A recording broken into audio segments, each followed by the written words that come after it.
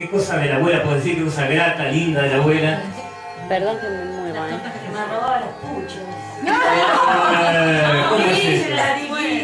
Te robaba los Ah, de puchos. chiquita. De chiquita, las tortas que te hacía. Ah, cuando venían las chicas a casa traía de a 4 o 5 y siempre esperaba con una torta Baja la música. Bajar la música, Glenn, sí, un Este, poquito. sí, después más de grande, no sé. Que te cosían las ropas. Además, se pinchaba alguna salida y me decía, no salgas, ven y quédate conmigo mirando una película y se empinaba el fernet conmigo.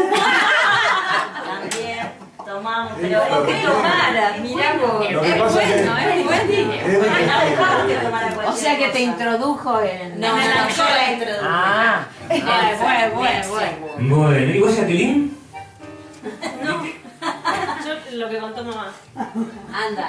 Bueno. Lo que contó mamá. Vos no Ahí, tenés pe- pero después cedo a, a mamá propiamente, porque contamos algunas ideas, eh, algunas eh, cosas propias nuestras, pero después están las cosas propias de mamá, ¿no? Eh, algunas ya son sabidas por algunos, las podemos reiterar, y otros que no las saben, como las anécdotas del colectivo, este, Ya las saben. en fin, eh, si lo van a, si lo van a la saben muy bien. Bueno, te contás alguna de de- del colectivo, de los zapatos, mamá. Sí. Día mamá iba a... Bueno, si no que la cuente mamá. Sí, contalas vos. Sí, Ahí vos. está, ahí está. Contá cuando estábamos en España. Que te agarró lo del dolor del pie, que no podíamos salir de la cama. Ay, creí que me moría. ¿Cuándo? Bueno, pero contá, Contá porque todo. era- Me quedo aquí porque, bueno. Contá todo. No, vamos a contar todo el pasaje que hicimos en Toledo. Habíamos estado caminando todo el día eso. por la Alhambra, subiendo y bajando por el centro, para aquí, para allá, para aquí, para allá, para aquí, para allá. Y después, al otro día, después de dormir, el otro día cuando nos levantamos, Sí, yo no me podía mover. no me podía mover. Y yo creí que me quedaba en España. Ay, yo Me pensaba, quedaba vos dijiste muerta. mi tierra, me quedé. yo pensaba, ¿y ahora cómo hacemos? ¿Cómo la llevo de vuelta? Ah, Lo primero que se me ocurrió decir, pero se nos va a pasar la hora del desayuno. Como que se levante. Y yo decía, no me puedo mover. Pensábamos ya, no sé, en llamar la ambulancia, ir en... Sí, no cualquier cómo- cosa, cualquier cosa, pero bueno. Al final nos levantó el desayuno y me todo. un Pudo más vaso de el desayuno vino. que... Pudo más el desayuno. vestido muy justito y me había puesto los calzones de mi abuelo, los calzoncillos de mi abuelo, que eran largos. abrigados. Era época en que no había calzas. Claro, largos. había Ni pantalones. pero la pollera era corta, el vestido era corto.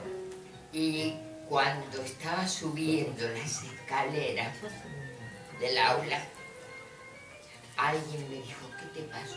Ay, me lastimé, lo que pasa, y subí así. Así como que Porque estaba se le había bajado una pierna y la otra no. Sí, Se le había caído el calzoncillo. Me tuve que vendar esta gamba, dijiste. Bueno, Y caminaba recta, qué cosa. Bueno, pero frío no tenía, mamá. Y otra vez con los zapatos también, los zapatos sí se les saben. Mamá estaba en ese colectivo. Ah. Yo me miraba en el espejo. Y movía el pie así, En el así. espejo, sí. Y des- en el colegio. En el primer asiento. En el primer asiento, entonces movía el pie. Primero Bueno, dijiste, ay, la señora de al lado tiene los mismos zapatos que yo, dijo. Bueno, dije, raro, esta mujer tiene los... Y le dije, señora, usted tiene zapatos igual que los míos. La mina la miró con una me- cara, pero ella está Me vieja, miró y se, y se fue al fondo. La. Yo seguí, cuando empecé a mover así. los pies, me di cuenta que era yo. Me había puesto un zapato eh, marrón y uno negro. Y uno cerrado y el con- otro sandalia. Uno cerrado y otro sandalia era yo. Qué papel.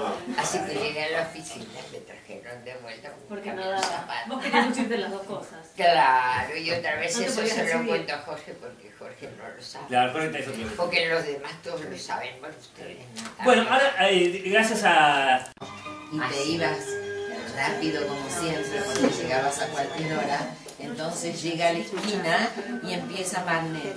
¿Dónde está el guiño? ¿Dónde está el guiño? No, saco la mano, sí. No, ¿dónde está el guiño? ¿Dónde está el guiño?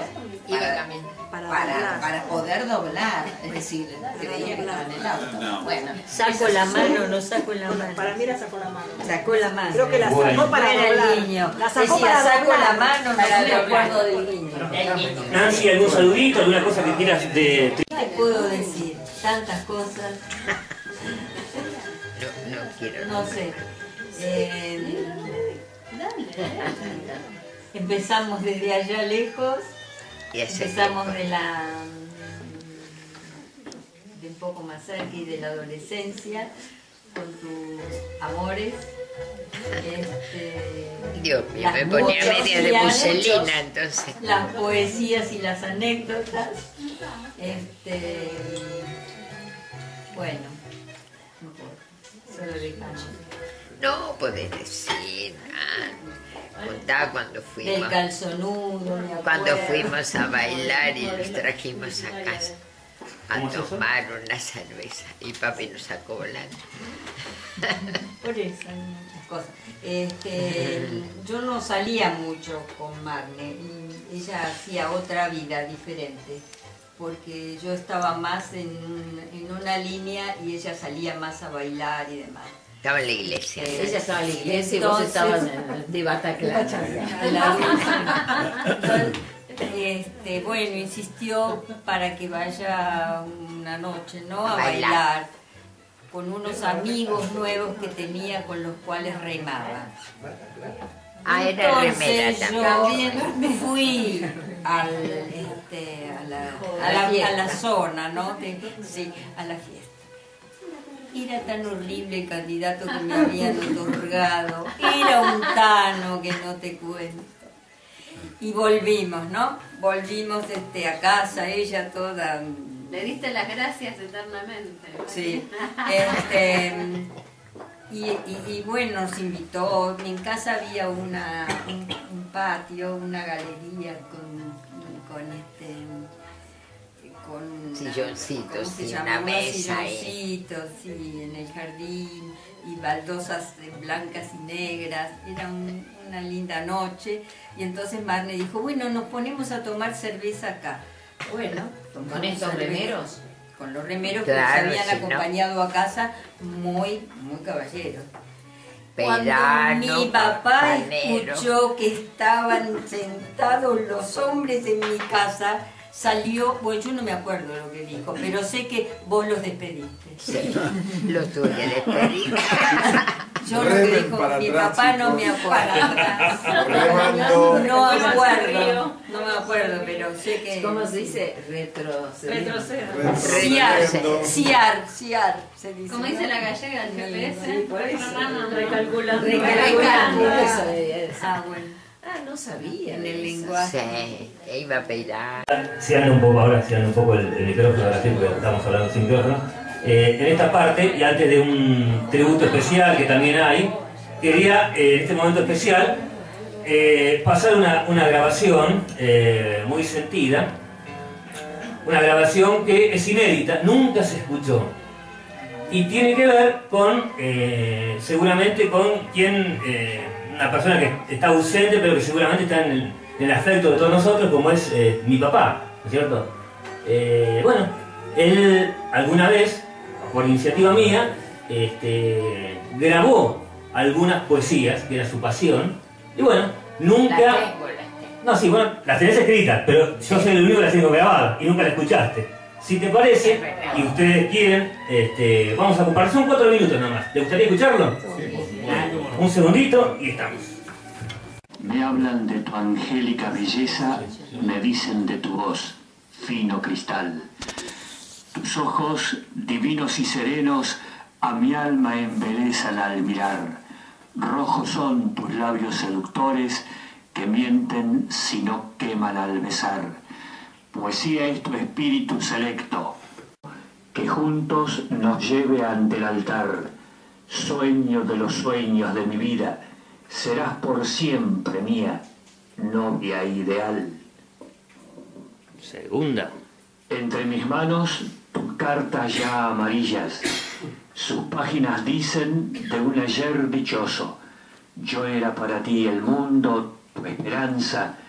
Para mí, tú fuiste el sueño más hermoso. De aquellos días de juventud lejana, hoy tan solo queda el recuerdo querido. Mis sienes muestran el paso de los años, de tu cuerpo todo el encanto ido. Por siempre quiso el destino separarnos, nuestro adiós fue triste, tus ojos lloraron y un eterno desconsuelo embargó mi alma, final doloroso de dos que se amaron. No sé por qué causa volvió a mí tu imagen, quizás añoranzas del amor primero. Lo cierto es que al leer estas tus sequelas, aún me subyuga tu mucho te quiero.